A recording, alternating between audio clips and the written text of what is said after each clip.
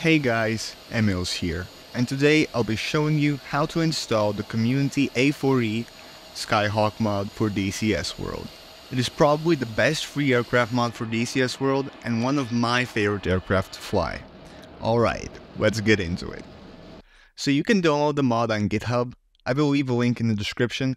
You need to go to the releases and then under the newest release there's an assets page and you need to download the zip file. As of right now, the latest version is 2.2 and it currently only works on DCS version 2.9. So if you're still using DCS version 2.8, then download the earlier version. Once the files are downloaded, extract them somewhere you can locate them. I will extract them to the desktop.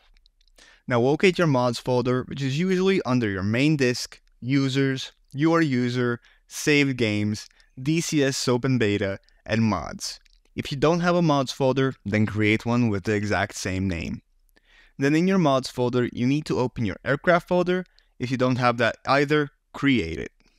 And now you can drag in the A4E folder here. And you should be good to go. Let's launch DCS and see if it's there. Now we are in the mission editor, and if you add an aircraft, you can see the Skyhawk here. The Skyhawk is an absolutely amazing aircraft, and I recommend it to anyone, old or new to DCS, if you want to see a cinematic movie where I use the Skyhawk, then watch this video next. Alright, I will see you in the next one. Bye.